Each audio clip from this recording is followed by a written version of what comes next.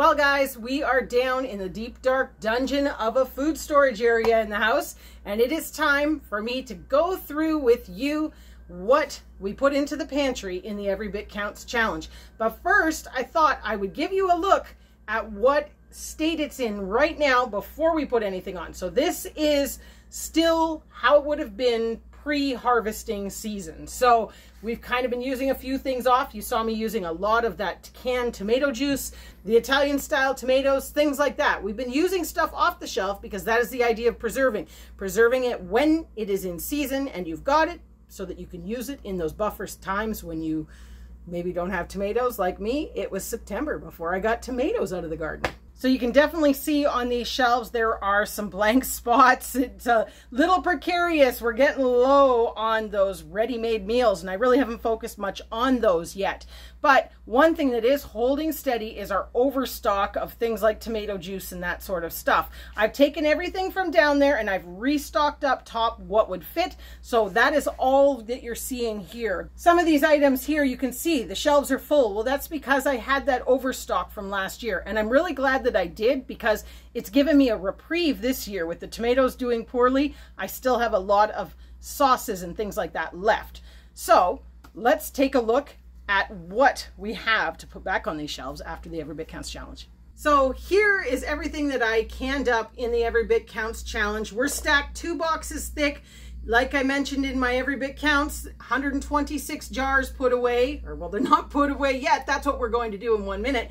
But I am super pleased with where we're at and you're to see coming up here, we've been harvesting like mad and there's a lot more getting canned up to go into this pantry. So let's kind of go through things as we put them on the shelf and then we'll take an overall look at the end.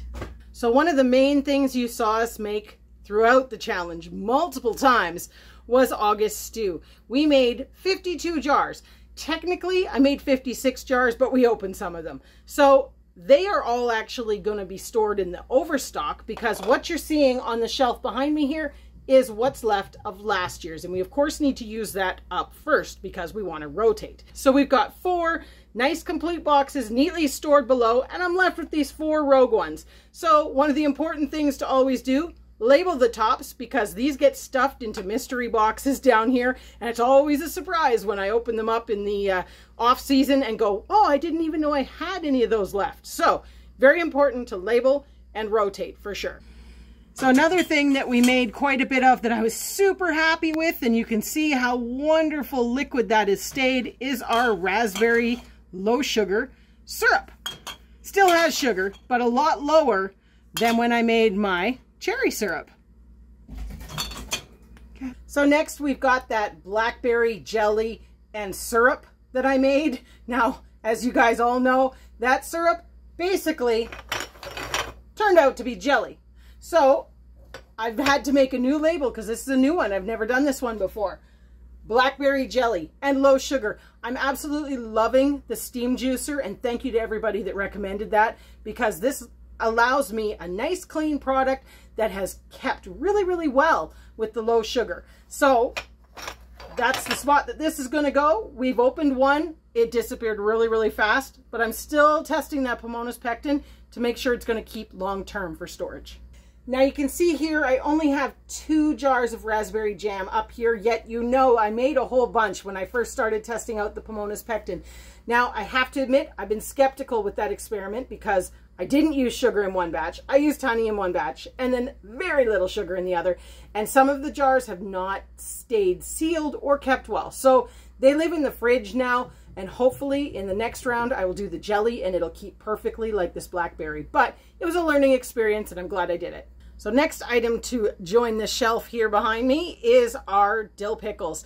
And this is something I was super happy about because I am not very good at growing cucumbers. So to actually get 14 jars of pickles was pretty awesome. And I have to admit, Alex and I have already polished off two. so they're not going to last very long, but that's okay. So this is going in in place of the dill chips that I used to make. They were like sliced thin ones and they were always soggy and horrible. And so this is going to work great marinated roasted red peppers. Mm, superb. But unfortunately, we don't eat as many of these as we used to now that we don't do sandwiches and things. So I made five jars this year. But as you can see on the shelf, I still had six jars from last year. So I pulled those forward, rotating the stock, right? And now we're going to put four of these in the back and one of them is going to go into the overflow. This is always a really awkward spot to film because of this post and the very tight space. But I'm going to do my best. Actually, Chris is going to do his best because he's the one filming. but garlic pasta sauce. Again, something we don't use that often, but I like to keep a decent amount in stock. I made five jars this year. That's all I'm going to make because we still have nine jars on the shelf. And the jars on the shelf are from 2022. I didn't make it last year. So I probably won't need to make it next year either. But it's good to kind of have new stock every now and then. We're testing my guns here. Ugh, this is heavy. But this is our lamb and black bean chili that we made. Again, if you were interested in that recipe, it can be done with beef too. Doesn't have to be lamb, but as you know, lamb is what we grow here. This is a lot and I don't have space for all of this on the shelf. I store eight of them on the shelf and I still have one old one from last year. I think it's actually from earlier this year. So we're going to get some of them on and some of them are going to go into the overstock. One thing I'm noticing here, my chili from last year was a lot runnier. So I'm really glad with the changes I made this year because we like it thick. We don't want to have to add crackers. All right, last, I almost said ingredient like I'm cooking something. Last jars to go on the shelf are our taco meat. And this is something I am definitely going to be making more of in the nearish future. We did eight jars and we put a bunch in the freezer and everything that went in the freezer is long gone. So I'm resisting the urge to start opening jars already, but we'll get some more of this made. And for now, I've started a new spot because this was something that I didn't always make.